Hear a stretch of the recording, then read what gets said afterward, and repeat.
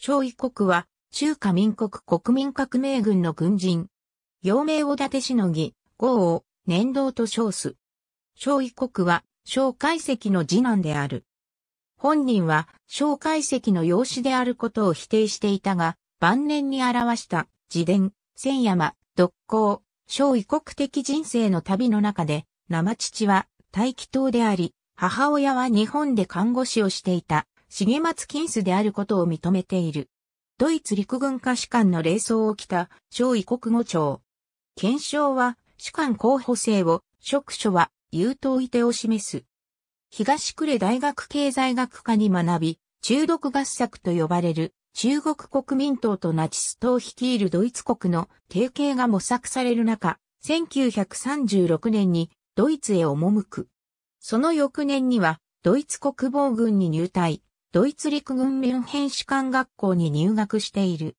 同士官学校卒業後もドイツ軍の軍務につき続け、第98山岳両兵連隊で山岳戦の協定を終了して、山岳両兵の証であるエーデルバイス賞を授与された。第二次世界大戦初期、ドイツ陸軍士官候補生として、装甲部隊に配属され、オーストリア併合に従軍した。ポーランド侵攻にも、オブザーバーとして従軍する予定であったが、その途上で立ち寄ったザイベルリン中国大使館経由で受けた指示によってアメリカ合衆国で軍事教育を続けることになった。アメリカでは一旦陸軍航空大使館学校へ入校したが、ドイツでの経験が考慮されたことにより、フォートノックスの戦車部隊へ移され、同地ではドイツ軍の戦術等について講義を行っている。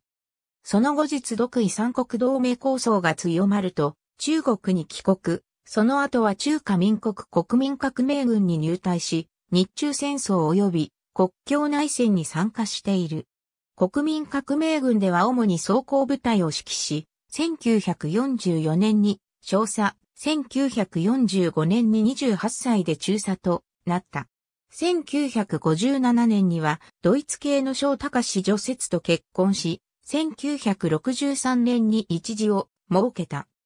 中国国民党軍が国境内戦に敗れて台湾に渡った後、1963年に明徳少祖と呼ばれる西ドイツのドイツ連邦軍のオスカー・ムンツェル少将、率いる軍事顧問団が設立され、小異国がその連絡役を務めた。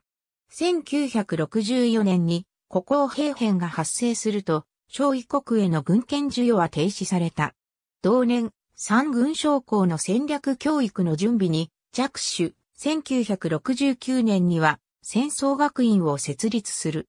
1975年に陸軍二級上昇に昇格し、三軍大学の校長に就任。1980年は連合公金司令部総司令に着任する。1986年の退役後は国家安全会議秘書長に就任した。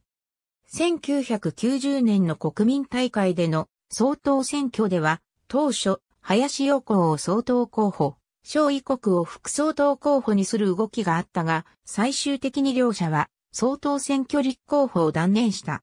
この際李登輝が総統に李元族が副総統に当選した。1993年には総統不死生に任命された。同年10月にアメリカの中国共産党系中国五子教法で中華人民共和国の党小平の中国特色社会主義を支持すると述べた際は、台湾世論から批判を浴び、李登輝の台湾独立路線を批判する、許し歴のオーラの設立した新同盟会に参加して、中台統一を主張する党派の論客になった。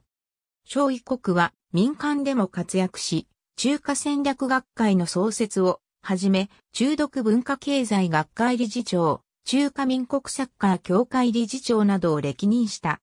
1997年9月22日、糖尿病合併症により、台北永民総委員で死去した。去年80歳。ありがとうございます。